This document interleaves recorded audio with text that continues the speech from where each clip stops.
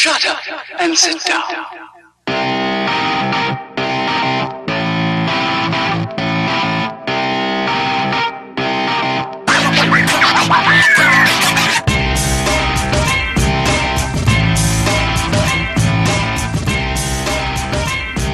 Howdy and salutations. Welcome to the Broken Table Commentary, a three man creative debate podcast all about the greatest of fake sports, professional wrestling. Every week, we each bring a different topic to the table. The topics can be ridiculous or serious, opinion or factual, creative or not, whatever we feel like. And as always, the topics is- this week are in the description. On commentary, we have our Mark, the debonair diabetic dad, Linton,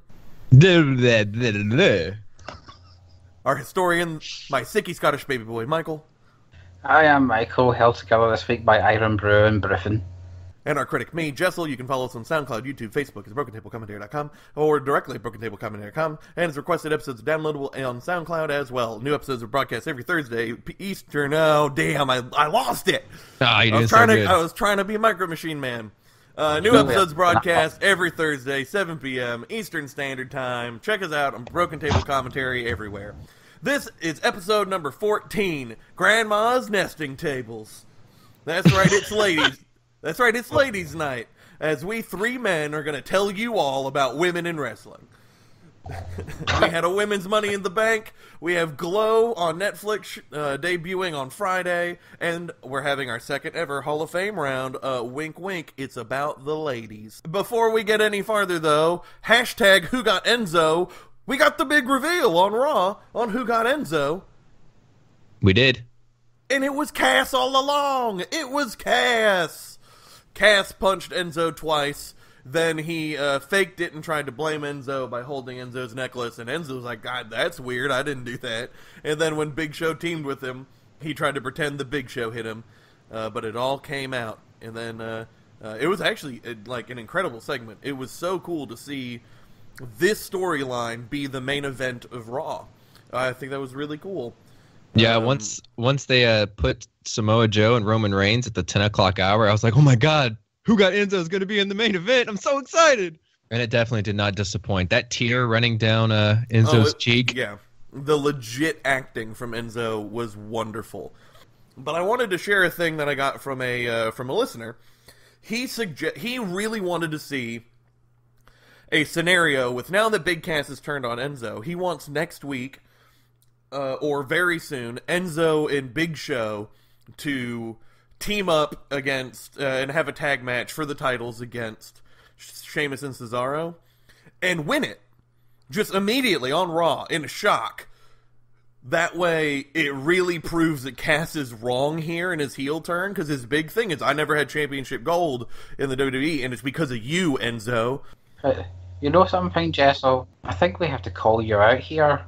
I mean, you don't have to be Columbo to have worked out the clues here when you gave away the women's match result from Money in the Bank last week on this podcast when Baron Corbin won a main event at Money in the Bank in which Nakamura was written out of 90% of the match.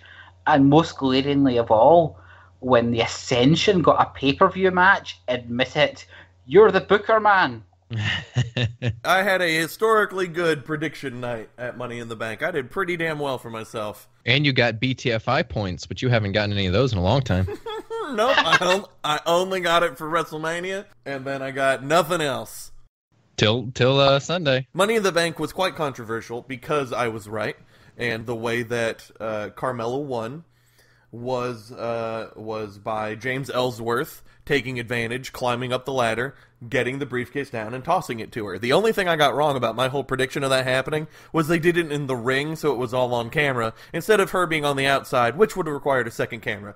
So you know that's just logistics. Well, I don't think that's true. I think it makes her look like she was actually a legitimate, legitimately part of the uh, whole moment because she was actually at least close to the Money in the Bank briefcase. I mean, she I was right with you. there at the end of it. She wasn't just.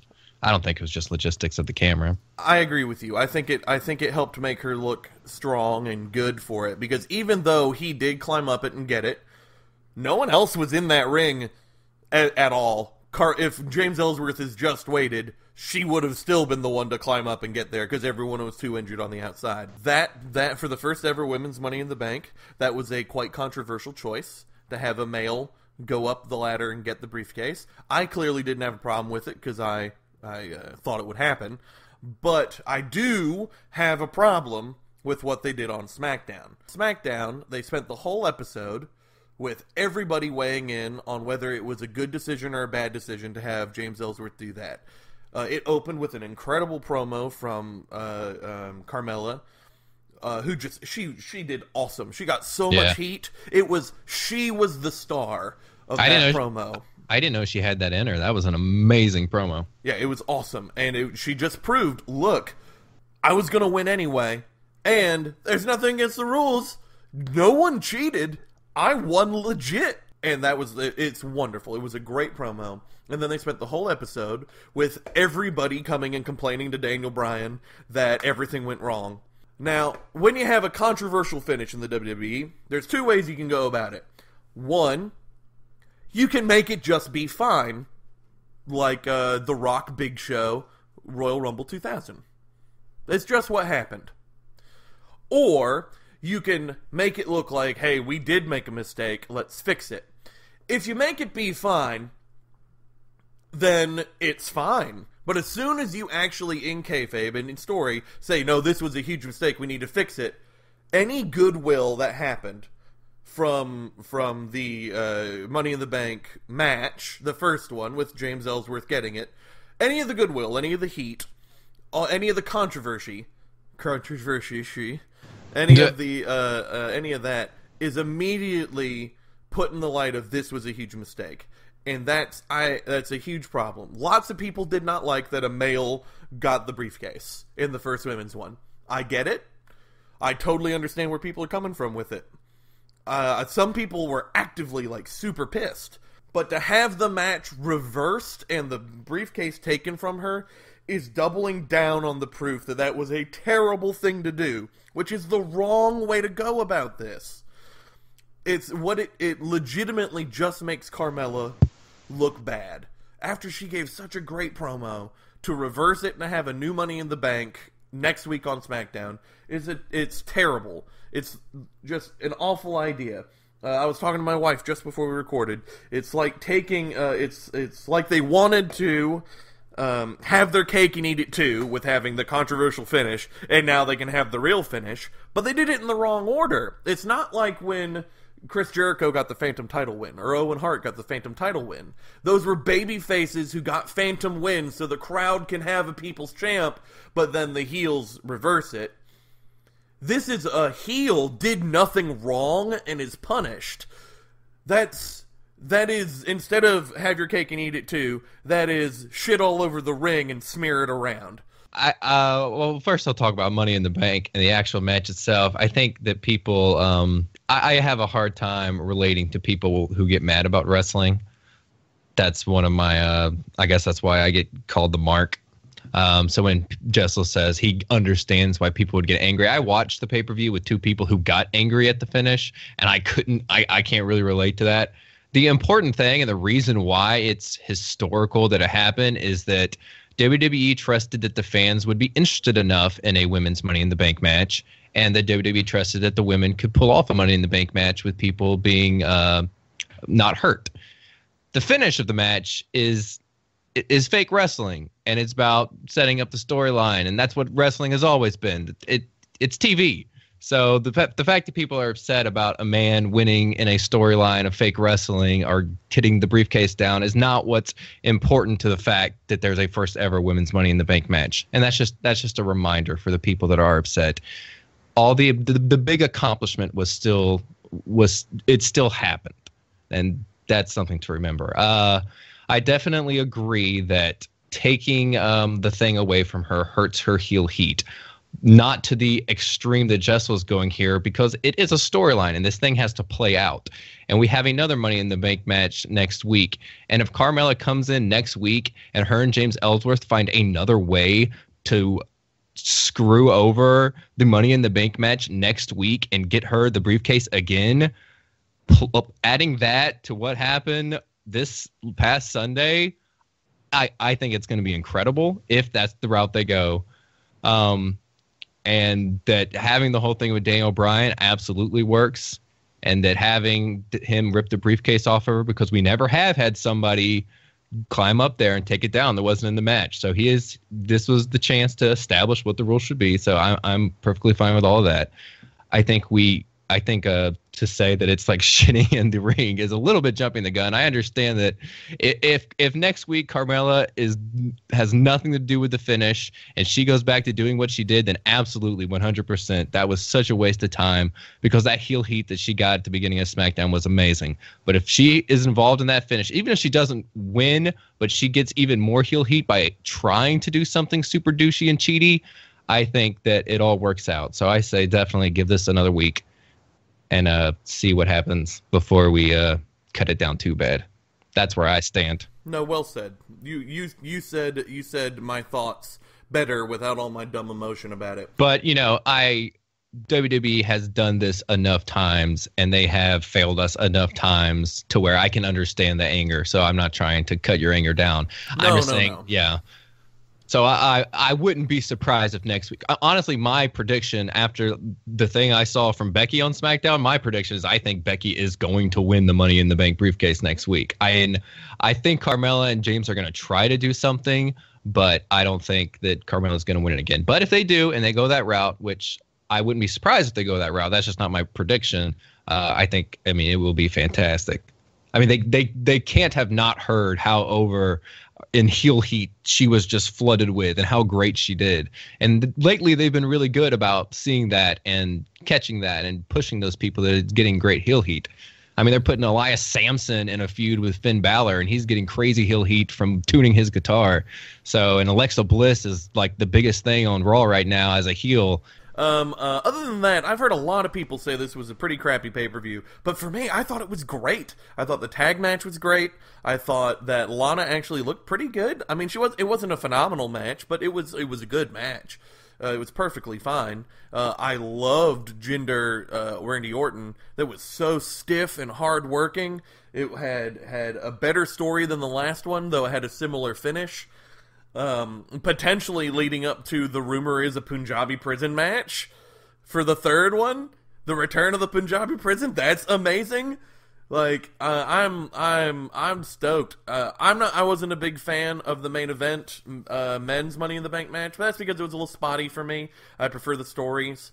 So the best stories that happened were the opening where Baron beats up Shinsuke, the Shinsuke AJ finally looking at each other moment and then the way it finished like that was you know that's really the only stories that were there there were some big spots but spots have never been the thing i liked about these matches i know that's what a lot of people like but It wasn't a very good show, to i be don't honest. think so No. And of course, I was ill and I stayed up to 4 a.m. to watch it because I'm a stupid addict to WWE who watches all this rubbish, hoping for the great pay per views. But, um, God, that, that, sounded more jaded than I intended. Uh, I, I've actually been, I, I watched Raw, I was just watched, rewatching Raw this morning, and I thought it was actually really good. Surprise, you know, for the thing we. But uh, yeah, the, the pay per view, um, the women's stuff was that that was quite good until I think we jiggy. Um, the tag match was all right. That's a tag title match. The other tag match for the Ascension was bloody pointless. The Jinder match was. I don't think Orton meshes with, with him, which is my Wow. My wow, character. that's, that's so crazy to me Uh, mostly, I, I, and I, I, I'm watching these thinking, what have those poor boys done to Randy Orton? He's he, he's trying to murder them on pay per view. The the Singh brothers, They're- they're dropping them with their head everywhere. i don't know that's so weird did you did you like Jinder orton Lenny? I am in love with the Jinder Orton All right. feud. So at least you and me, at least you and me are loving it because I've heard so many people hate it, and I, I and Michael didn't like it, but I lo- I'm loving it. I want to see that baby boy go to SummerSlam. So, and I, I, really want hope to see it him does. go to WrestleMania. I don't know about that. Uh, I suppose it would be uh, remiss of me not to mention uh, Mr. Perfect's son getting a minor push on Raw. Oh, Hey! yeah. Entourage. And it- it, le- it led into my commentary line of the week, which I hope could be a returning thing in this podcast. This week, Michael Cole, the Bears are assaulting Ambrose. But funnily enough, as much as I hate JBL, he had my commentary line of the week this week because of Mike and Maria uh, Kanellis' uh, debut with their amazing song. Oh my god! And after the debut, they just cut to the commentary table, and you just see a, a beaten down JBL just look down and say, "He took her name," and that's it. He just can't believe that a man would love a woman so much that he'd take her name. That's funny. I missed that line. That's great. One. This is a very simple one, which is create a new battle royal type match. And I said, be as creative as you want. And because I'm going to have to take 10 minutes out of my voice, I'm going to very quickly go through my rubbish idea first before I hand over to uh, Lenny and Justin. Um, unfortunately, my great ideas, I, I, I, I blew them earlier in this podcast. For example, battle royals on a boat and the, the legendary Rumble in a Cell match. Rumble in a cell, baby. Oh, yeah. Battle on a boat. So I, I was trying to, I thought, what could I possibly come up with? Um, and then I had the issue when I had come up with it. I thought, oh my god, have TNA done this? But no, they did something similar, but not quite. And of course, they TNA'd the whole thing up. Hmm. So what I have is the Royal Rumble Money in the Bank match. You see, two men start. There are 20 men in all. Every 90 seconds, another man enters the match. Elimination by going over the top rope, but all TLC weapons are allowed. When number 20 enters, those who are left can enter the match, can win the match by climbing up a ladder and retrieving the briefcase. But you can still be eliminated by going over the top rope and walking the until there's only two people left, so we don't have a dusty finish, obviously.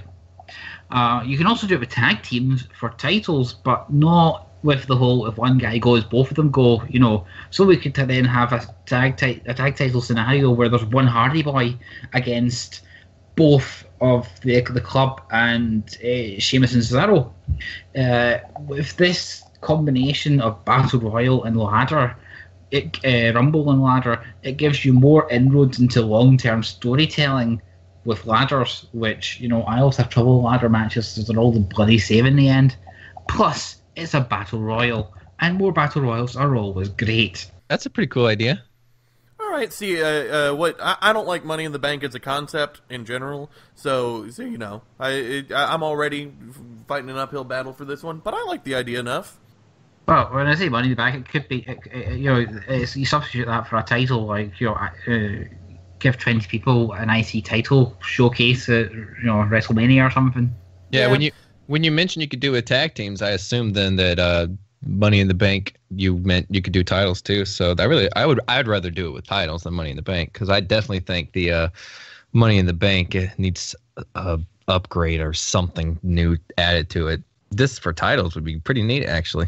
I'm I'm shrugging. I mean, it doesn't sound bad. I, I just always I liked ladder matches. There's a simplicity to the ladder match that I that I really like.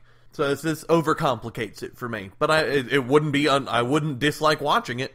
Uh, my battle royal slash kind of gauntlet match slash battle royals are hard to come up with new things for. Uh, it's the pick your poison battle royal. It is a 20 man match. Four men start in the ring, elimination over the top rope. Now, once someone is eliminated, uh, whoever eliminates them gets to pick out of the remaining people who takes their place. So the Miz eliminates Curtis Axel. Then he looks up at the uh, ramp of all the other people waiting to be entered into the battle royal, and he would have to pick. So he could pick an ally. He could pick someone he has been waiting to get his hands on. He could pick somebody who'd be easy to eliminate. But he has to pick somebody. He has to pick his next poison to take the place and be added to this uh, battle royal match. If multiple people eliminate someone, they have to uh, come up with a replacement together, or the wrestler who's eliminated gets to come back into the match. So that's it. It goes until one person is left standing. I dig it. I like it. Uh, I, I like the pick your poison conceit to it. I, I've used this in an E-Fed before, and it was not an over-the-top rope. It was pinfall eliminations, and you pick who takes their place. But since I wanted, I really liked the idea, so I changed it a bit to be a uh, Yeah, the battle I like royal. it. So there's just so many different stories that can be told here. I think with having to pick who the pick your poison definitely has great story potential. I agree. All right. Well, here's mine. Uh, as normal on these creative ones, I, I went a little overboard. Um, this is a tag team four corner lumberjack battle royal. Oh, say that again. Tag team four corner lumberjack ba- lumberjack battle royal, uh, Okay. or what I would call it the seven point crown. That would be my my my name for it for the match type. You know, there's not actually like a tag team gimmick match. TLC used to be a tag team gimmick match, but then they just allowed singles singles matches to have it. So there's not a match that's just like tag team specific. There's the tag team version of a ladder match, the tag team version of a steel cage. So I really wanted a tag team battle royal, but I couldn't come up with a way to do it until I came up with all these dumb rules. So here's my rules for the seven point crown. It is a uh, uh, seven to ten tag team match, so you can have seven teams to ten teams in it. Four teams are chosen randomly by drawing, uh, or you do a beat the clock, or some other reason to have the four teams start. Each team picking one of their members to be in the ring. Um, all other participants of the match surround the ring lumberjack style. Bell rings, ding ding. Uh, each team as a unit gets a point for every elimination they have. Um, uh, eliminations are not permanent, by the way. Um, so each team as a unit gets a point for every elimination. Um, whenever a wrestler is eliminated, another wrestler on the outside can enter the ring. Uh, you can enter the match multiple times. Uh, if multiple wrestlers enter simultaneously, to the referee's discretion, they stay uh, with no additions until it gets below four again. So if you toss out Sami Zayn and three other guys all jump in at the same time, then they all enter and no one can jump in again until we are down to we get down below four. Teams can be disqualified, so there is a referee in the ring, and they can toss them. They can toss teams out of the match. Um, uh, both members of a team can be in the ring at the same time, so it's a huge uh, benefit if you can get both of yourselves in because you you uh, you know you you want to try to get points. First team that gets seven points, hence seven point crown, wins, uh, and then the outlaw rule is in effect. So you don't get a point for tossing out your partner or for tossing out yourself. So if you tope suicida or whatever, you don't get a point for that. It's just you eliminated yourself. But that you might have a reason to do that. You might be taking out like eight guys on one side of the ring, so your partner can come in and, and toss the other two guys and get points. It just I, I think it's a really cool way to get a bunch of neat little story elements. I think it has just enough rules to be interesting without being too many rules to explain. Because a lot of the rules you don't have to say out loud. A lot of them can be said over uh, commentary or just understood by watching. But yeah, this is the seven point crown. It's not as complicated as I thought it was going to be with that name. And I actually like it. And you bringing up the fact that uh, there's not a tag team gimmick thing, that that bothered me. I was like, oh my god, he's right. What the? Uh, I know, right? heck? It shocked me. It shocked me. because I then I was like, well, what about tables match? Isn't that? I was like, oh, I guess not. It used to like always be tag teams doing tables matches, but no, that's not really for tag teams.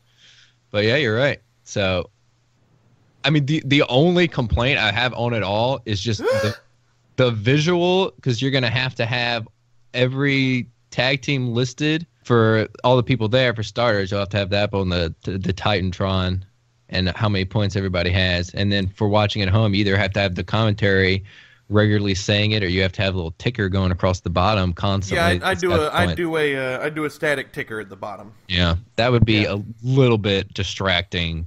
I was uh, uh, watching like uh, NBA with you the other the other week, or watching NFL stuff. Uh, People are programmed for sports to do that anyway, Yeah. just to constantly have that there. So it didn't feel like a big deal to me.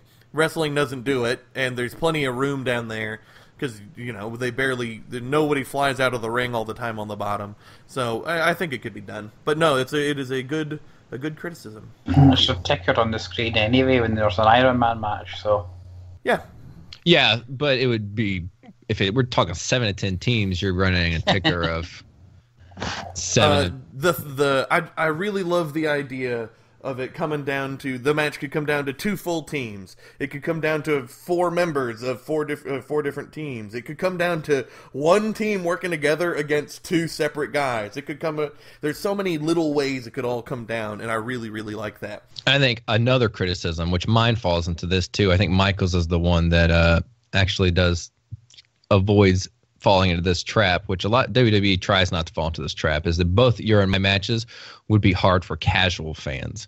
It, unless you know all the storylines for all 20 of the people in my match, it's going to be hard to be invested in who picks what poisons. And unless you are really familiar, like with all the different tag teams, it's going to be hard for people. Because, I mean, there are a lot of tag teams that still, when they come on the TV, my wife's like, okay, who are they? And I'm like, oh, those are the, the Colons and that's uh, Breezango and stuff. So with Yeah. the current tag team situation we have now, 10 of them, I mean, there's going to be, for the casual viewer, a lot of those people, they're going to Yeah. have a hard time remembering them. Wow, it, it was either work really well or it'll be a mess, and there's only one way to find out. So, Doravi, get Jessel on the phone. All right, let's move on to uh, topic number two. Two. All right, topic number two is mine, uh, and I'm going to explain this in this in a way for people who aren't super familiar with wrestling terms. My topic is: what are some moments in wrestling that are considered uh, by a lot of fans? Doesn't have to be all the fans, but most fans to be real and off script and mistakes and things that break the fabric of the storytelling, but that we believe are actually uh, what was supposed to happen, and actually did follow the script, or at least a lot closer to it than people seem to believe. And this is more of an open discussion than oh, you have to name three, and everybody has to have follow certain criteria. So it's just talking about things that the wrestling the wrestling universe believes are uh, the real things that happen that weren't supposed to happen that we we believe okay no actually i think you're wrong these are total things this is it's conspiracy theories so Yeah, wrestling terminology. Uh, um, what are things that most people think are shoot, but we think are works? for all the nerds out there Like like me. So I and I don't know how many we'll get through because I've got four down, but it depends on if people disagree, if people agree, how much we actually talk about everything. Uh, This one And- was really hard for me. could you think of any? Uh, I mean, I wrote down a handful, but but for the most part, uh, most of the things that are that are considered shoot that are considered to have actually happened are like confirmed, and that's that's like that's that's what made it hard for me. It was hard to find ones that either were interesting enough to talk about or were had enough leeway to make them be um, potentially be works. It was it was an interesting is interesting interesting uh, topic. Well, I found that in most of the most of the uh, situations by confirmed, there's always at least somebody involved in the situation that says, "No, that's not exactly what's happening." So there's always there's like uh the one of the ones I have on here um, is the uh, Vince Russo promo on Hulk Hogan at Bash at the Beach 2000. Now this is confirmed by uh, Hulk Hogan and Eric Bischoff that Vince Russo goes off script and goes out and cuts this huge promo on Hulk Hogan and tells him he'll never work in the company again, and this was not planned for. And uh, Russo just just cuts Hogan down to pieces and tells him that he's been ruining the wrestling business and holding guys back. And it's it's considered by most to have been a uh, a shoot but Russo has always maintained that it was not, and this was known all along, and it was part of the plan. Hogan just hated the reaction that the boys in the back gave him after the promo happened, and he hated being talked about like that. And so Hogan made up the whole thing about it not being planned because he was so upset by it. So there's an example of because that's something that I, I always thought was a confirmed thing that everybody involved said, oh, yeah, Russo went off script. But then when I looked into it, Russo absolutely says that it was uh, the plan So all you're along. so are you saying that you think it was a work? Yes, uh, I uh, reading Russo's thing, watching watching the Bash at the Beach thing. There are several reasons that I believe that it was planned all along, and that this is just a case of Hogan hearing those things about himself that Russo's saying in a promo that was planned, and them being extremely true, and the boys in the back probably saying really shitty things about Hogan while he's backstage, and Hogan just flipping out because I mean Hogan was a diva. Hogan was incredibly dramatic.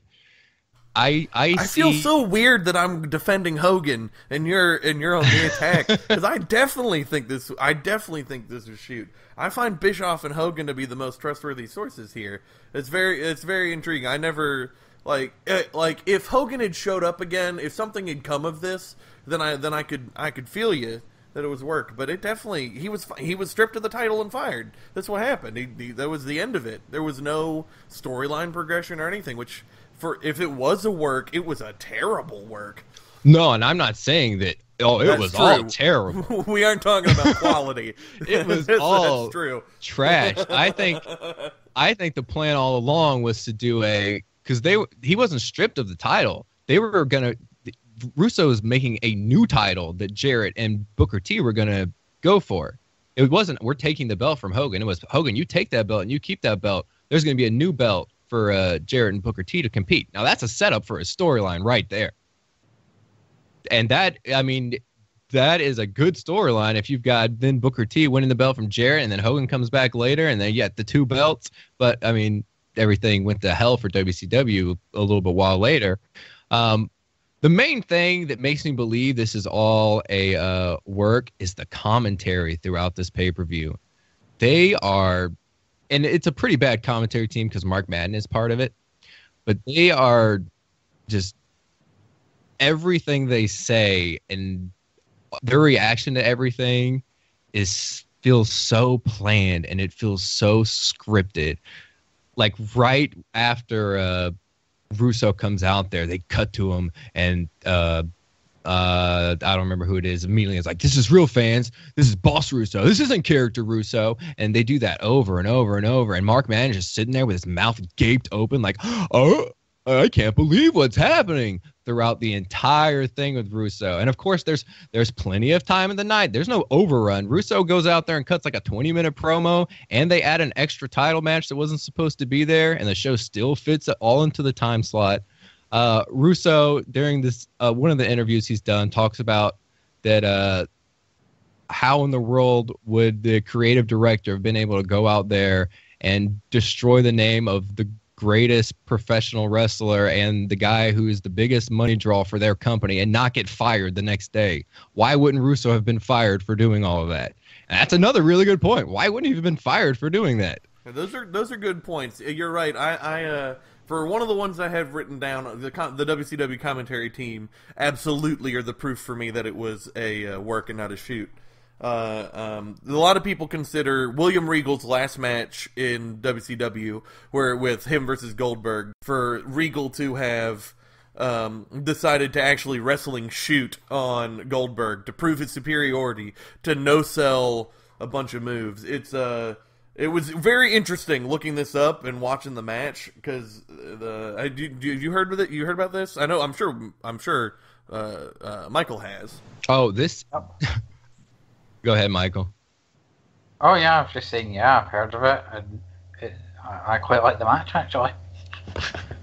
I spent about 45 minutes researching this, so I am very interested in what you're going to say because this is this is one that is kind of on my list. So I want to hear what you're yeah, going to say. the, the Regal Goldberg, Goldberg thing was interesting. Like supposedly Regal was on his way out, and he didn't, and he was upset with Goldberg.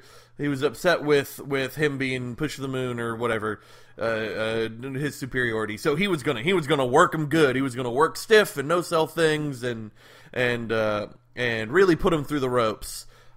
And if that was true, if that was actual and not just Regal, even years now, continuing to be an excellent heel and sticking to kayfabe, then there is no way this would be have been Daniel Puder versus Kurt Angle. This would have been they had to do something to keep that from happening because Regal could beat Goldberg in a fight hands down. Jericho beat the shit out of Goldberg backstage once. I mean. The, like, uh, uh, well, Jericho's kind of a badass backstage. He he almost beat the shit out of Brock Lesnar. I was about mean, to say. Uh, but but regardless, it's it's uh um uh you would think that if if that's the case, if Regal really was going to show him the ropes, the Regal really would wrestle around him in circles. But the story of that match and the commentary of that match is that Goldberg is also smart. It's they they start talking about oh he's all power, but whenever Regal put a move on him, Goldberg would reverse it into another move. Like it's just an actual wrestling match that was a little sloppy because Regal was at his most in pain, most out of shape that he was in WCW when he left. Uh, there, there's the commentary doesn't flub up anything, and this was good WCW commentary at the time too. This was Schiavone and, and Bobby Heenan. Like this is no Mark Madden doing his garbage. This was the good commentary, and Bobby is notorious for for not holding his cool in the WCW when things go off script. But the two of them, the, there were no commentary flubs. There was a botch here or there from Regal and Goldberg, but all of it just it was just a regular match to me to put over how smart Goldberg was. So I, I think that this is way overblown calling it a shoot. I definitely think it went 100% as intended. And the story of that match, from what we can, you can see on the screen, is that Regal tries to outsmart Goldberg with every trick from the European school in the book, and Goldberg can still beat him. Yeah, I think for this one to have been a shoot that Regal, then you you also have to say that Regal really failed at doing it because I think, like you said, if Regal wanted to go out there and kick Goldberg's ass, he would have done it, and he and he doesn't do that. So yeah, I agree that that one is definitely blown out of proportion. Uh, now, th- I don't have any proof for another one, but uh, just one I wanted to to throw out there as a conspiracy theory. What if the garden incident was a work? Uh, with the uh, with when the Kliq all came to the ring on uh, Nash and Hall's last night, broke kayfabe and hugged. What if that was a work? well, what do you mean? What if it wasn't them breaking kayfabe and them all going out there uh, to break characters? What if it was I don't know? This is all conspiracy nonsense. There's no proof of it either way. It was just interesting thought process. What if this was planned by Vince McMahon from the beginning? What if it was a plan by Vince to have the Kliq go out there and do that? To let the to let the guys leave Gorilla because Vince sits right there. He's uh, right. He he is he is well. He's not sitting there at that point. I think he was on commentary at that point. No, it was at the Garden. So it was uh, well, regardless there are people who would not have let them go out of Gorilla, but they did. They were able to leave Gorilla and go and all hug in the middle of the city. What if Vince heard rumblings of the NWO thing and he wanted to ruin the prestige of these guys? Or I don't know. It's just it's interesting that this one of the greatest shoot things that ever happened. Uh, what if that one was a work? It'd be. I could see it. It's interesting. Because the o- what the only the only backlash was that Triple H, who was a, a bottom of the card heel, got lost a bunch of times. Oh, the, like the only the only thing that was taken away quote from Triple H for that scenario because he was the only one they could punish was he didn't win the King of the Ring that year. You know, and the guy whose storyline was gonna win it anyway and probably should have Stone Cold Steve Austin did. Like it just it's just it, it seems it seems very plausible to me that it was a allowed thing that was a worked scenario. I don't know. I'm gonna look into that one. That's a that one that's pretty interesting. All right, now this is one that I did not know people thought was real until because uh, this person has been in the news a lot more lately. Uh, so I I'm expecting that everyone else here is going to be like, oh no, that was absolutely, you know, that was a work. That's silly. But there is there are thousands of people that believe the uh, Floyd Money Mayweather going out and breaking the Big Show's nose um, at No Way Out, whatever, 2005, I believe, um, was a uh, no, not 2005, 2006, was a uh, was a, uh, a shoot that he was not supposed to go out there and attack the Big Show and bust open his nose and make him bleed. I mean, from from everything I've heard, the segment was planned and breaking his nose was uh, was not. You, they didn't plan for his nose to get busted. Okay. So I Uh, guess I guess I sit somewhere in the middle. That that that leads into it's the same general view I've got as if the the the Hogan uh, 2000 thing. I think it was a, a work that people got a bit carried away about, kind of lost themselves in the moment slightly. Yeah, because when Big Show talks about it, he talks about how yeah, it was always supposed to happen. He was supposed to come out and punch me a couple times, but he punched me like five times in two seconds, and I didn't expect it, and I wasn't able to prepare myself, and I got my nose busted because Floyd just hit so hard. So you know, it it, it feels like somewhere in the middle. Like they didn't he didn't plan on breaking his nose, but he planned on hitting him. In an interview last year with The Sun, The Big Show officially says that he told Floyd Mayweather to break his nose. Oh, That all he asks is don't shove my nose through the back of my head, don't break your fist or hurt yourself, but you need to break my nose. Is the exact quote that the Big Show cool. that the Big Show says that he told Floyd. So Cool. That uh, that reminds me of uh, of uh, Kevin Owens' NXT debut, where C.J. Parker gives him the super stiff palm strike to the nose and breaks Kevin Owens' nose.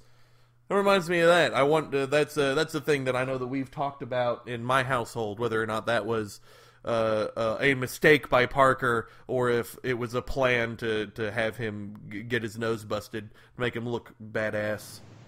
I, I couldn't help but laugh there. I'm just looking up the post curtain call, and Triple H lost because he was getting punished at the time. He lost to Jake Roberts, Marc Mero, Ahmed Johnson, Owen Hart, Sid Savio Vega, Yokozuna, Barry Windham, and Freddie Joe Floyd.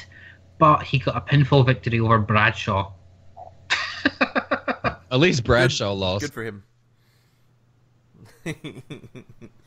uh, that's interesting. That's cool. I never because it's a new interview. I never heard. That's cool that uh, that Big Show has uh, has uh, just legit come out and say that because I, I always thought Big Show was badass and say telling him, "Hey, come break my nose." That's pretty badass. Yeah. I- I'm not sure what Mayweather's side of the story is. That is not something that I've looked up because I really don't like interviews with him and reading them. But Well, that's because Mayweather stays harder to kayfabe than anyone else in the world. I was going to ask if you guys had any others. I- I've got a a short draft one and one which nobody has admitted to not being a shoot, which I think is a work.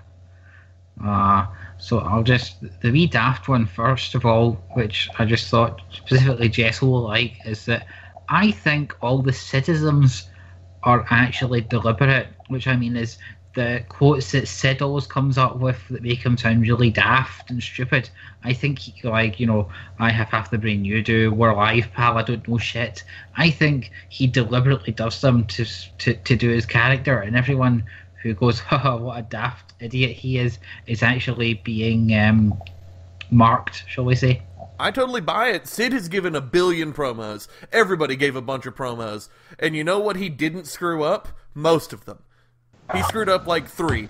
uh, uh, I, I always, I always took it as a, uh, I always took it as a, um, he was, he was working the boys. He was trying to make the guys backstage laugh because he's su- he's such a company guy. He's Yeah. such a guy that everybody loves working with, except for Arn Anderson apparently. But he's such a guy that everybody likes working with that I thought he did it as a joke. And then Kevin Nash was just being an asshole and made fun of it, making it open uh, um, during their feud because Nash wants to look cool.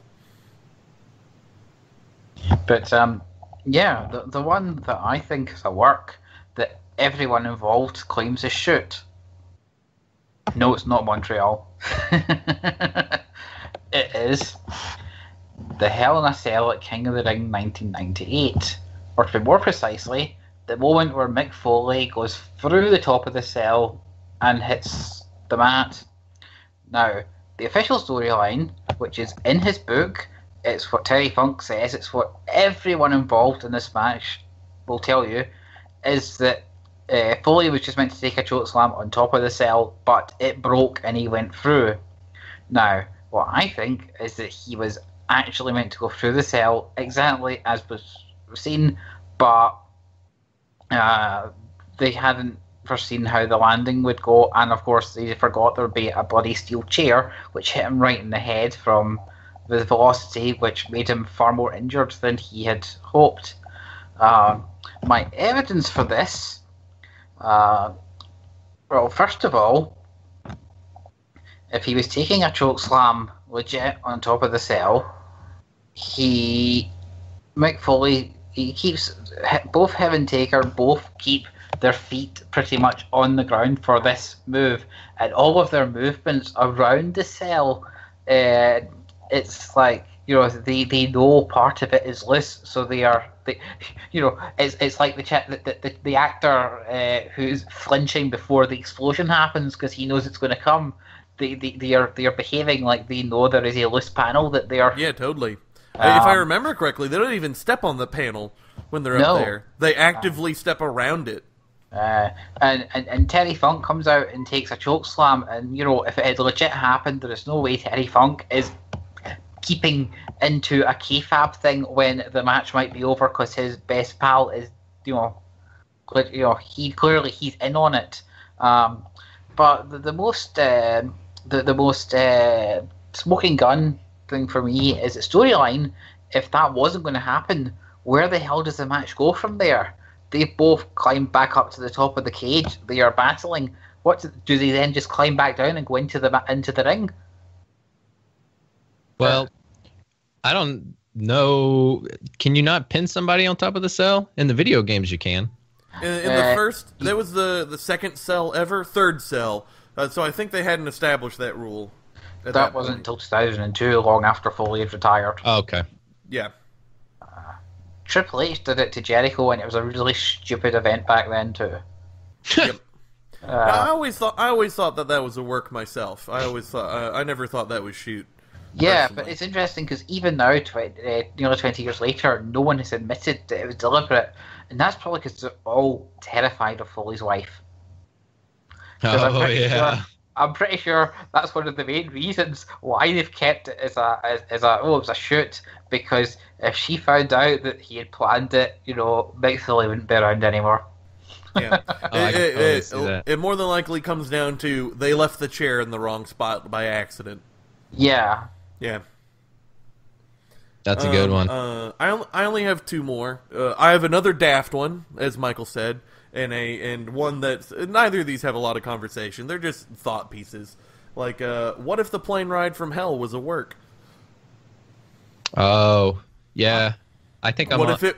I'm what on if board it was with that. legitimately? What if it was legitimately just to make Brock Lesnar look like a badass? You know, it was just to add to his mystique. Kurt Curt Hennig was already maybe he had already failed a uh, wellness thing and he was already on his way out, so they came up with this story they, to work the audience. I don't know. It's interesting. If it was That, that's a that's a tough one because considering how much traveling they do, I could totally see them just having plane rides from hell every now and then. But that one is pretty blown out of. I mean, it's pretty it's pretty wacky even for. Yeah. It's just interesting. It's a thing that I could see having actually been a work, but now that Curt Hennig is unfortunately dead, we will never get a full answer. So just interesting. I was so pissed off when he got fired for that. Yeah. And wouldn't it be nice if it was a work that he wasn't fired for that? He was always his contract was up. He was always going to be fired. So they just had him go out on an interesting note. It'd be bittersweet either way, to be honest. The only other one I have is um, there's a uh, pretty famous uh, uh, ECW promo that Heyman gives, where uh, Heyman shoots on TNA. Oh yeah, Um, uh, that most people think it's him shooting, but uh, uh, watching watching that promo in the storyline at ECW at that time, the storyline at ECW at that time was that TNA was the villain anyway, so it doesn't even come across that Yo. much as a shoot. Jessel um, TNN, by the way. Oh, Not TNN, TNA. thank you. thank you. I even have it written down the right way. Just wrestling and then TN. Yeah. You- yeah. Uh, but yeah, that's it's an interesting promo. People consider it that Heyman is shooting on the on the uh, channel, but it, uh, I don't know. It, it, to me, it comes across as storyline. Comes across as a, as a work. They already had what's his face Cyrus, I think his name was.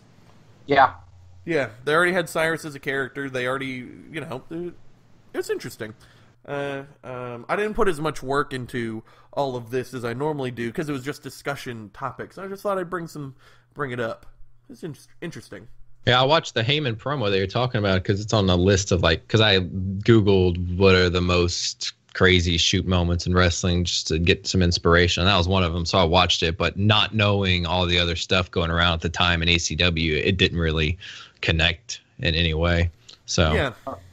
I, I saw that. Well, I didn't see it live because obviously it was on tape delay in, in Britain, but I saw it pretty much as live as you could get in the UK at the time, and I I was absolutely sort of gobsmacked jaw hit the floor at the time. I thought it was entirely real, but then I was fourteen. Yeah. It, it comes across to me like the CM Punk pipe bomb, a thing that is supposed to elicit the idea that it's the shoot, but it had time planned for it, and uh, uh, and you know he was uh, the creative let him talk about whatever he wanted to talk about. It's that kind of thing. I don't know. Uh, a few weeks, uh, yeah, because a few weeks later they had the, the the the epic moment where Kid Kash won the TV title back off the network when everyone they screwed over came back at once to haunt them.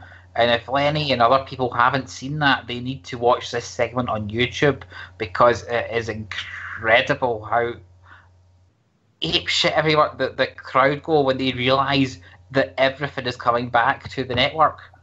Oh yeah, absolutely. It is it is the EC it is the the, the, the best moment uh, ECW had in their dying year, basically. In my Uh, my next one is inspired by the CM Punk pipe bomb, so I'm glad you brought that up. But it's not about the CM Punk pipe bomb. Uh, but look, yes, everyone, the CM Punk pipe bomb was a promo that had a script. We've talked about that here before. CM Punk We has did. said it. It is get out of that uh that past that you've stuck yourself in. Um, but it my problem and the thing that I believe is not true uh, is the entire storyline involving CM Punk from the pipe on to Money in the Bank is that he has not signed a contract with WWE, um, but he's going to go into this Money in the Bank pay per view match. And if he wins it, he might be leaving. And the whole story is that he doesn't even sign the uh, contract to stay with the company until the night of the Money in the Bank pay per view. And I don't buy any of that at all. I think the moment that CM Punk is put in that match at Money in the Bank and he has given the pipe bomb script, I think before that stuff even happens on TV, CM Punk has already signed his contract. He is already planning on staying. It is all just drama and it's the lights and it's the glimmer that they all put together because that's what the whole entire storyline is for CM Punk at this time is that he might not be staying around and that's what the whole the whole appeal is is that he's going to go into his hometown win the belt and leave WWE and you don't you don't do all that if it's actually possible that he's going to be not not signing with the company. And I actually looked up articles about it back in 2011 I went way back into Google and there are so many so many different reports on what's going on by the dirt sheets of oh well he signed an extension through this amount of time. Oh no he didn't actually sign extension. He's actually working for WWE unsigned for a couple of days. And oh all there's like four different reports floating around the different ways that CM Punk has signed different contract and extensions and what he has and has not done during the month this month long feud of whether or not CM Punk is signed to the WWE. And it was this huge deal. Everybody was covering it. ESPN was covering it.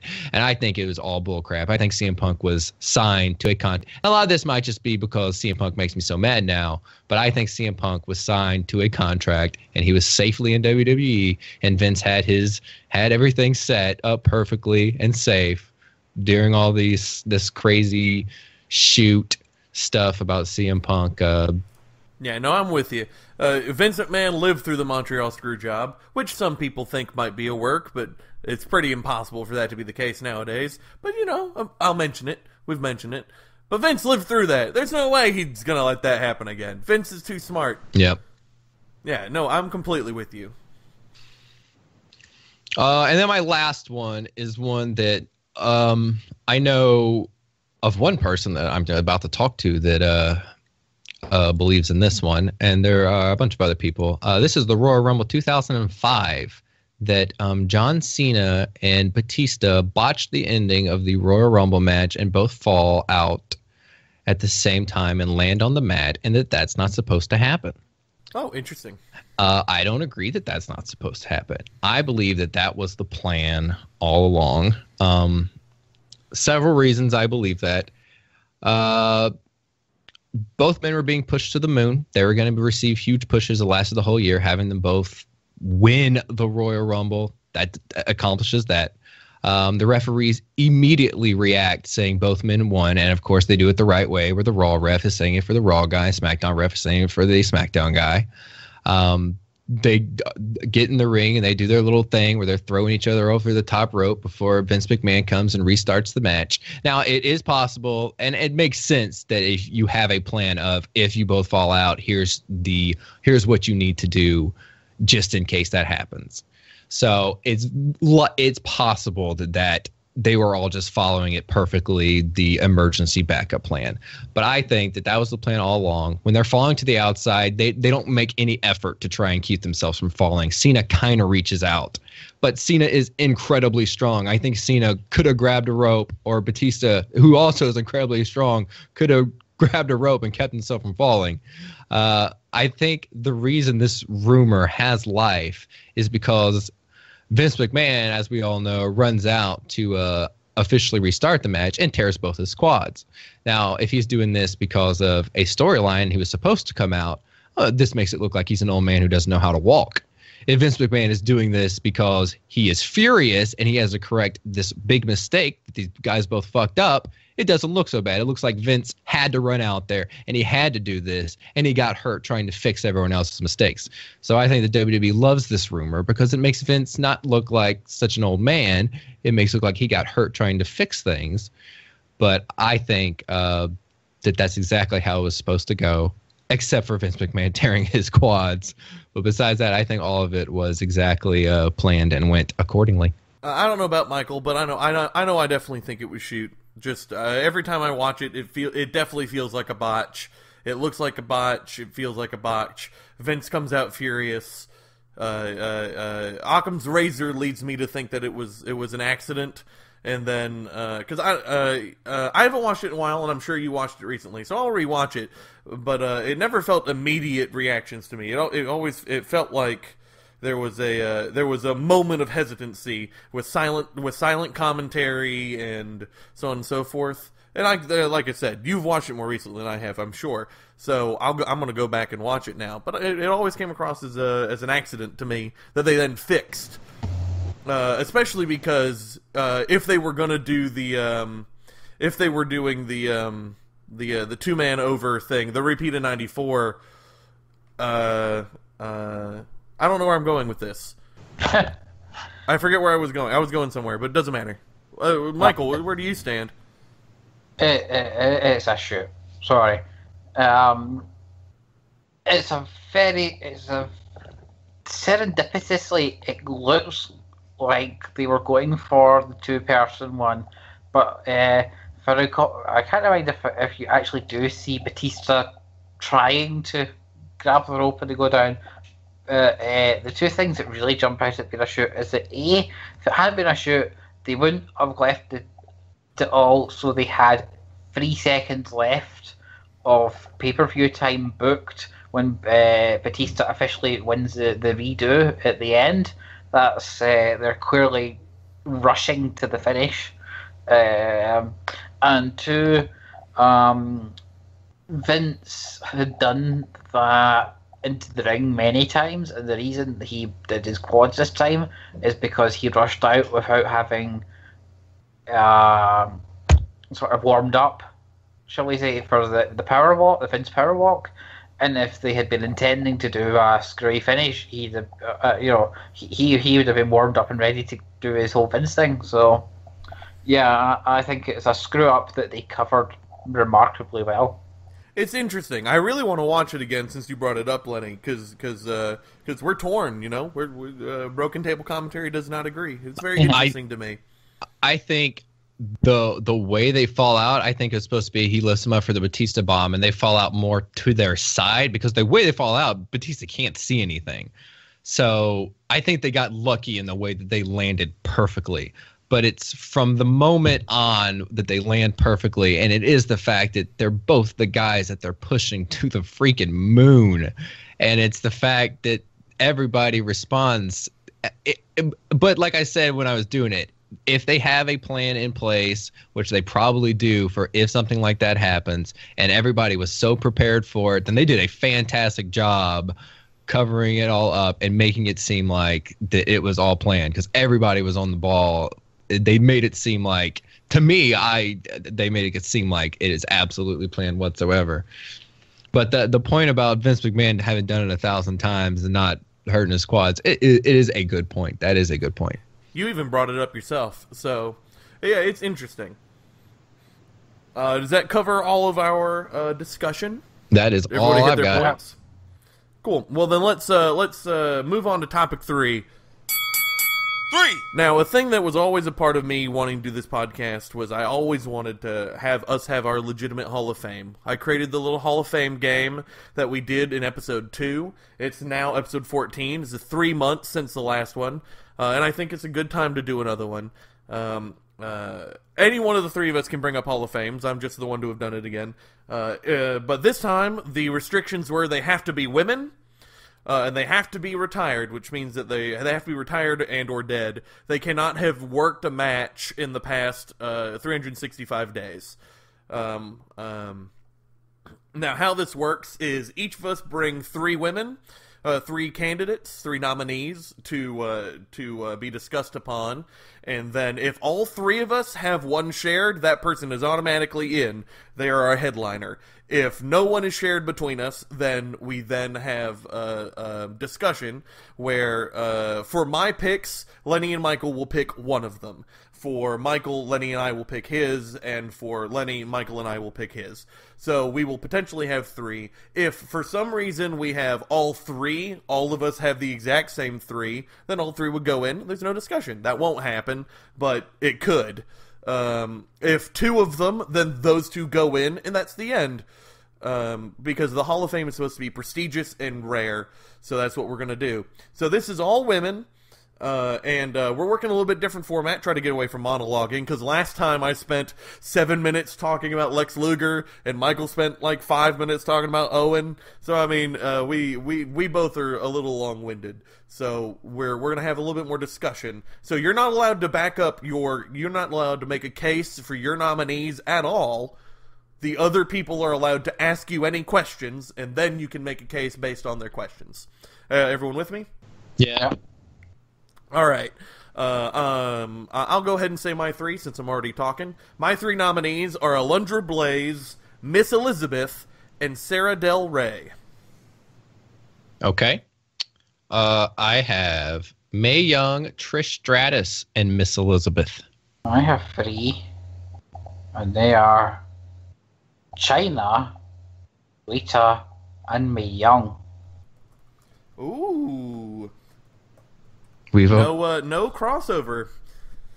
Well, there we go. We have I have them written down. So, uh, um, uh, who who who do you guys want to go first? Who do you want to uh, uh, be the first one we we pick from? well, I don't know. You understand? Well, here let's let's go ahead and. I'm sorry. I was gonna say you understand how this works better than me and Michael. I think so. You should uh, figure out who should be going first. Sure, sure. Let's do. Let's save Michael some voice, and we'll we'll do Michael's first. So, Michael, uh, your three were Chyna, Lita, and Mae Young. So now, Lenny, you and I can ask him any questions we want to know about those three. Uh, but it'll be up to us to pick together one of those three women to be uh, in the Hall of Fame.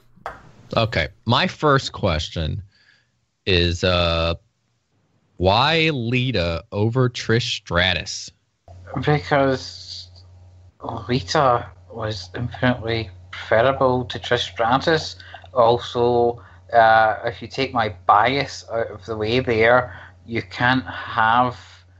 Well, you could have a Trish Stratus, but she was dependent on the path that had been laid out by Lita and Ivory, but mostly Lita over the previous uh, year and a half to two years prior before they actually gave Trish her uh, push into, you know, the, the acceptable women's wrestling, uh, as as opposed to just the uh, the valet figure. Um, Plus, essentially, you you needed a Lita figure for a to be able to be what she was. Uh, Lenny nominated Mae Young, but I'm interested in why you nominated Mae Young. Because I think she's awesome. oh, I Oh. agree with that. I mean, Well, clearly, but you know, I didn't nominate her, so that's, that's I wanted I wanted to hear. we're talking about a woman who had a 71 year wrestling career, um, who uh, Lou Thesz, when he was asked in 2001 to name the five legit toughest people he ever knew in wrestling, he named Mae Young on that list, and he didn't like women's wrestling. So that tells you what her reputation was like. Um, you know, we're talking about someone who, you know, back in the 40s got arrested for kicking someone who made improper advances to a a wrestling show so bad he broke his back to 57 odd years later, uh, nearly 80 years old, she thre- she threatens Bubba Ray Dudley that if he doesn't legit go through with a power bomb off the ramp through a table to an 80 year old, the 80 year old will kick his ass, and he is legit feared of Mae Young. You know, I'll ask. we- don't actually have her her greatest stuff uh, recorded at all 'cause it's all way before recording uh, TV and shit, uh, TV in general. But you know, she's a proper legend. Uh, uh, do you have any other? Que- I, I don't actually don't have any other questions. Um, I know we haven't talked about Chyna, but uh, but uh, I, I get why Chyna's on this list, so I totally get it. Uh, uh, do you have any other questions for him, Lenny? No, I, I, I really Chyna was in my top five when I had to put together a top three. So I have no, I totally get Chyna too. Yeah, so Chyna t- Chyna is totally deserving. She was on my short list as well. I had a short list of five, and I had to leave two off, and Yep. Chyna was one of them. Um, um, so um, uh, what do you think, Lenny? Um, I am uh, I am leaning towards uh, uh, Chyna because she's because uh, neither you or I mentioned her, but both both of us uh, uh, liked her. Um, uh, but I'm leaning towards Chyna. Well, now we get it. Three. into a weird thing because doesn't it make sense for me to pick Mae Young? I mean that makes. Uh, I mean, if you want to, 'Cause it's You- you on- can, we can we can game the system however you want. It's just you know. Um, uh, um, uh, I, I, yeah, we'll go with Chyna. Yeah, I, I think Chyna's definitely deserving, uh, uh, and I like it. And I also like Mae Young. You know, I uh, I, I like both. Uh, but with Michael only seeing Chyna, I, I I really like China, so I think that's a good good call. Yeah. You go with that, Lenny. Yep. There you go. Official first one in's Chyna. The one you didn't get to talk about is the one we're picking. Because we because we both already knew. I heard her go up here with the other ones, and I was like, Yeah. uh, she really deserves this because more than likely she'll never get in the WWE one, which is a shame. So I, I hope I think she deserves to be here. Hey, this is Jessel. I'm doing this from editing. Uh, so I realized a flaw in my plan. We should be talking how amazing these women are. Uh, and in my haste to try to make us save a lot of time, because I felt like in the recording we were taking an enormous amount of time, and I had to cut a huge argument about money in the bank and me being a doofus, and just I had to cut so many things from earlier. But once I got to this point, I realized, oh, we have a whole crap load of time to talk about these women. And Lenny and I both legitimately didn't talk about Chyna. It was since we didn't ask Michael to talk about it. This new format I was trying, which I don't, I don't know if it worked. Let me know if you guys think it does. We didn't talk about Chyna, so I'm going to talk about Chyna real quick. Chyna deserves to be in the Hall of Fame for one very important reason. She is the Divas Revolution. That Divas Revolution that that we are so proud of, the women's wrestling coming back. Yeah, Chyna is is a is a intercontinental champion. At one point, she was even considered and booked to become the first and probably only female WWE champion of all time. She was a powerhouse. She uh, was part of DX, one of the most influential factions of all time, regardless of how I think about factions. That is just a true statement, and there's no way to argue it. Argue against it, I should say. On top of all that, she put on pretty damn decent matches. She wasn't the greatest in the world, but she always had a mystique. She was the ninth wonder of the world. She was uh, her her work with Chris Jericho, her work with Jeff Jarrett, her work with Eddie Guerrero, all of that stuff just stands out head and shoulders above so much of the work at that time from other women.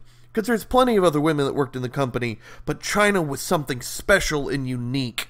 And on top of it, all three of us uh, personally believe, and I've said this earlier, but all of us, as uh, all of us are very incredibly saddened by her death and the unfortunate turn that her life took, and even worse, that the relationship statuses of people backstage ended up hurting her career, which sent her in a down spiral, and just so much. So we we really want to honor her, and I think it is incredibly fitting for her her to be in our Hall of Fame. I'm proud of it. I like I said uh, before I had to do this edit. I I honestly believe she deserves to be in the WWE Hall of Fame, and if she gets there, good. She deserves it.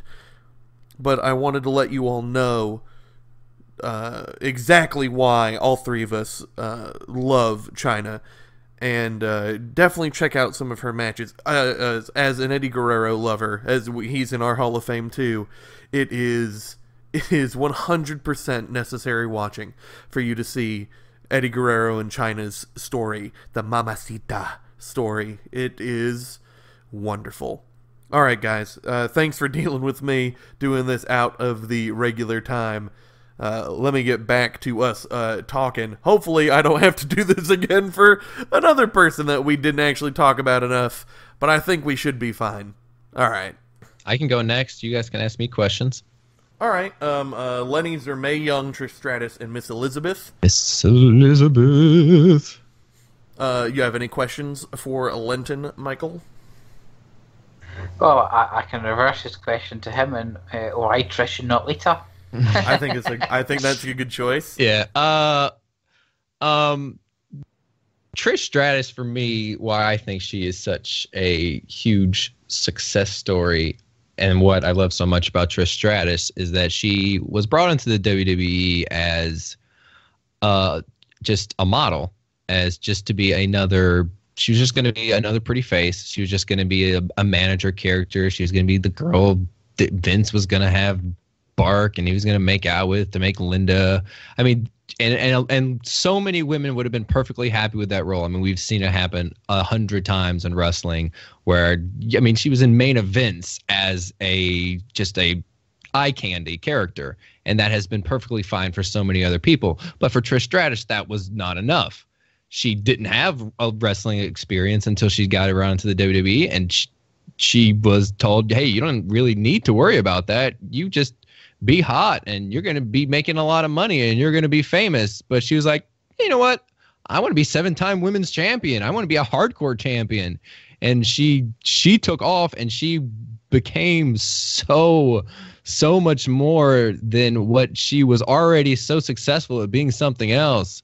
She became a fantastic wrestler and she wasn't just happy being uh, just the the pretty hot. Now she's very extremely hot. Don't get me wrong, uh, the, the, that's why I put in here her in here instead of Lita. Lita's I, I like Lita. Don't get me wrong, but the fact that Trish Stratus had all this stuff handed to her and she could have easily just coasted by being just the pretty face character, but instead she ends up being such a huge part in wrestling for women, a seven-time women's champion.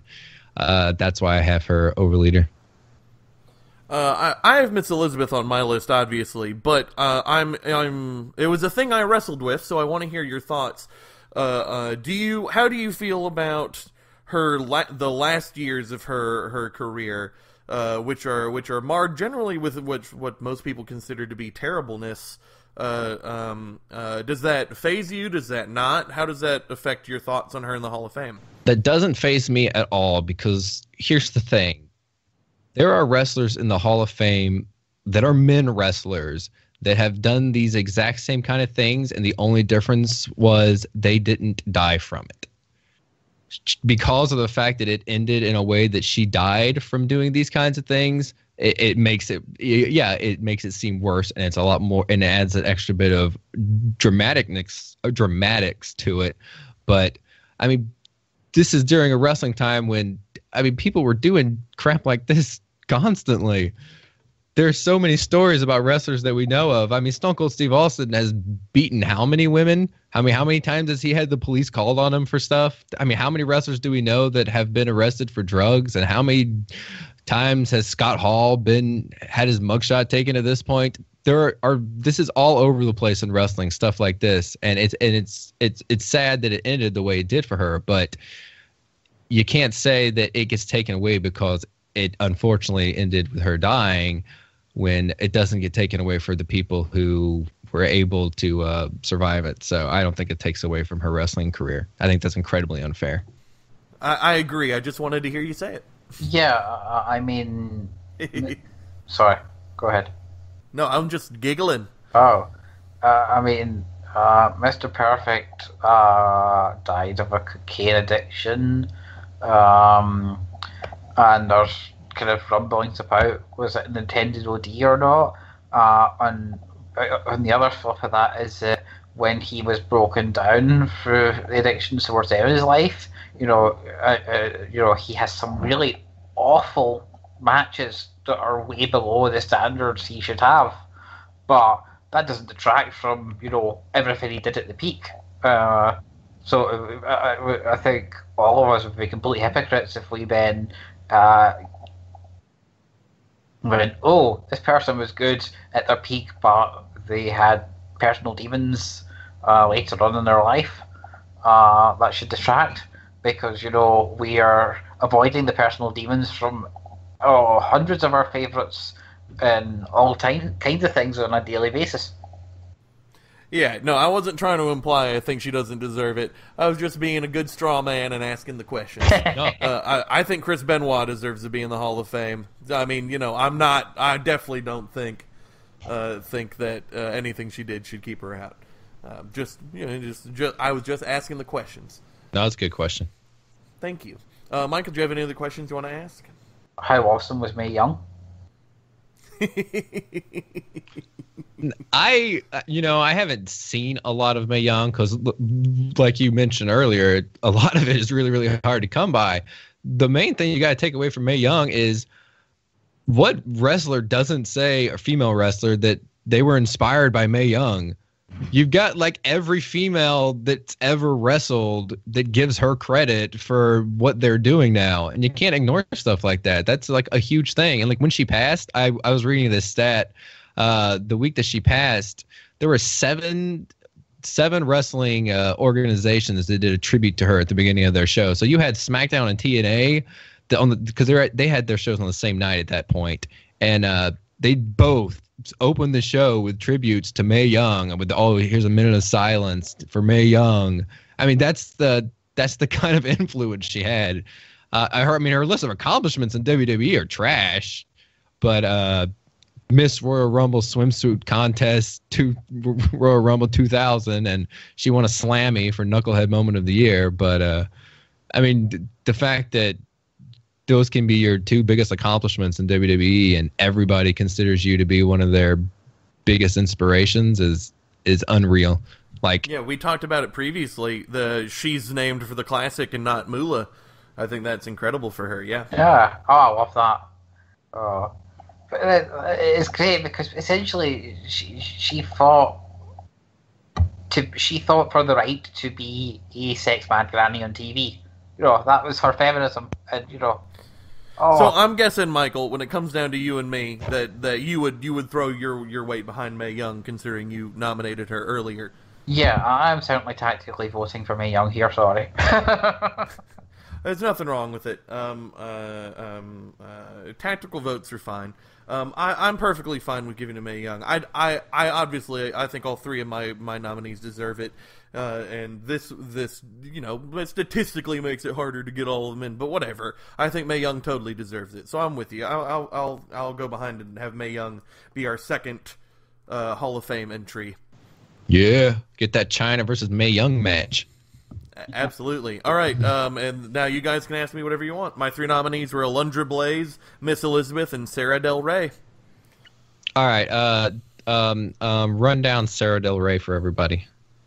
Uh, uh, we both as a podcast, but we as Americans and uh, UK chaps in general tend to focus on on uh, WWE. It's the largest company, um, but that is definitely ignoring a, lo- a large amount of modern day great wrestlers that happened that never got a chance in the WWE. And Sarah Del Rey is one. She was uh, she was in the GLOW uh, revival as Sarah Death Ray, and she was awesome. She was the lead greatest character in Shimmer, and uh, uh, uh, which was an incredible women's pr- uh, promotion where Beth Phoenix got her start, and so many other incredible women wrestled, and they did it all just them, all women, and it was very very cool. She's a great wrestler, but. All of that beside itself, the real reason why she is on my list for me is because she has, since retiring from the ring, has become the head trainer at NXT. Yeah. She is she is the one who is you you want you you liked the Divas Revolution? You can thank Sarah Del Rey because she's the one who trained Charlotte,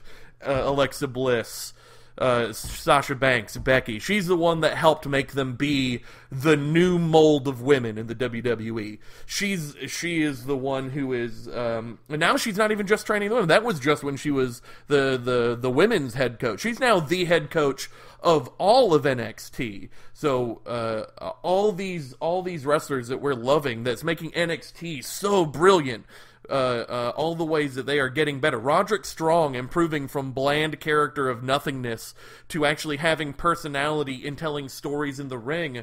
We can thank Sarah Del Rey for it, and I think that um, a lot of times uh, we tend to focus on as as viewers, as fans, not the three of us, but viewers in general. We tend to focus on um, what what happened in the ring. And while Sarah Del Rey has an in the ring worth Hall of Fame career, what she did, did out of the ring for wrestling currently is incredibly important, and that's why she that's why she eked out uh, Chyna on my on my uh, my list. Yeah, I certainly don't know her in the ring stuff, but I have been following her as the uh, NXT goddess that she is. Yeah, definitely check out see if you can't find some Shimmer matches with her because she's she's very good. She's a very good wrestler. And Alundra Blaze, I'm trying to think of a good question just to sell me on her because I've never been a fan. Um, uh, why? Uh, I'm, don't know. I, I was trying to think of a better way. No, of I, I, it. under, I understand. Well, I mean, if for nothing else, she has the most iconic uh, females wrestling thing that ever happened in the Attitude Era, and that's throwing away the belt on Nitro. Yeah. Like, if nothing else, that's a Hall of Fame moment highlight, period. That thing was an enormous moment. But on top of that, she had incredible matches with, with, um, um, uh, oh, now I can't remember her name. Uh, uh, big, big Japanese lady who was such a destructive, powerful Oh, yeah. force. I know you're talking about. I can't think so of her name many either. great matches. Uh, she uh, she was essentially female Hogan um, uh, in the ring. She was the backbone of of female wrestling in the WWF during the New Generation.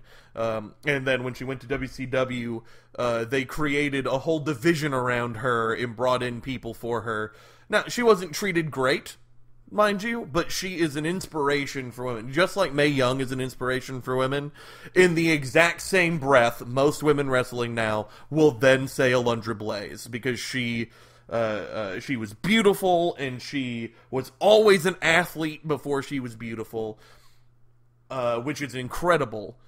Now, unfortunately, just like with Miss Elizabeth or some a lot of other people. She had an unfortunate end to her career in WCW um, with all the garbage with Oklahoma and and all the shit that Russo made her do. But that doesn't take away from her her uh, quality of work and for being the top woman of that era of wrestling. There was no one who held a candle to her uh, at that point in time. Where does Miss Elizabeth rank for you in the sort of uh, realm of top tier WWE managers slash valets? Then Uh, Miss Elizabeth ranks for me as the most important woman in all of professional wrestling. Period. That, that's That's where she ranks for me. She's the most emotionally connected. She's the uh, one of the greatest managers of all time. If Miss, if look at the caliber of wrestler that has been attached to Miss Elizabeth in her career, it's Hogan, Savage, Luger, Sting, Flair, five of the legitimate greatest wrestlers of all time all had Miss Elizabeth attached, and Miss Elizabeth was a large part of that. I think that uh, Elizabeth and Luger, despite the unfortunate death and the unfortunate manslaughter and so on, so on, so on, I think they worked amazingly together. The Mega Power storyline is one of the greatest storylines of all time. Ultimate Warrior versus Randy Savage. Uh, um, uh, is the greatest WrestleMania match in my opinion of all time, greatest professional wrestling match of all time in my opinion, because of Miss Elizabeth's involvement. Uh, uh, legitimate weeping tears from the audience, from men and women. Her death is one of the most tragic deaths of all time. So that's that's Miss Elizabeth ranks as the highest. Period. There are other managers who who uh, were more manager y. You know, they did more things but uh, but uh, Miss Elizabeth for me ranks as number one of all women, let alone managers. Cool. well, yeah, you you you, you you've convinced me there. I mean, in my three that I gave for my Hall of Fame, Elizabeth was number one out of my three, so I'm going on Miss Elizabeth out of out of Jessel's nominations, definitely. Yeah, I, mean, I like to sum up for the previous two, but now he's got me thinking of uh, the whole Warrior uh, Savage WrestleMania 7 and how she's a big part of that, and how can I vote against someone who's part of one of the greatest WrestleMania moments of all time, on top of everything else. So yeah, Miss Elizabeth. I, I certainly can't argue, obviously. Mm-hmm. Uh, and I th- I think that I think that maybe a little controversial uh, for some of you listening, but I think that our our second ever Hall of Fame class has legitimately three of the greatest females in wrestling, not just wrestlers, just in wrestling, spanning an enormously amazing period of time with Mae Young, Miss Elizabeth, in Chyna. I think that they are an excellent addition to the Broken Table Commentary Hall of Fame. Hooray. Round of applause for those ladies. I always love doing these Hall of Fames, and I love uh, um, uh, I love being able to just, uh, as much as a critic as I am, uh, um, uh, as Lenny points out, it's so wonderful to just talk about the positive things in wrestling. And uh, I opened this episode with being very cross and overly emotional and cross about how women's money in the bank went, but ending it like this is legitimately the best way I could think of to end a, uh, episode uh, that focuses on ladies, that focuses on the women of wrestling. Uh, and I'm very, very, very proud of the three of us as well. Uh, uh, just because I think that we work really hard to be inclusive, and I think we uh, created. If you don't know these three women, go look up as much as you can from them because they are legitimately three of the greatest of all time. Now, be careful what you look up about Chyna, though. I mean, some people might want to see the porn. I didn't say. I just meant be prepared. I guess that's what I should have said. Yeah, uh, uh, always use the word wrestling when you search as well. I like porn. I mean, I think on that note, sorry, it's, it's time to say goodbye. Bye, everybody. Bye.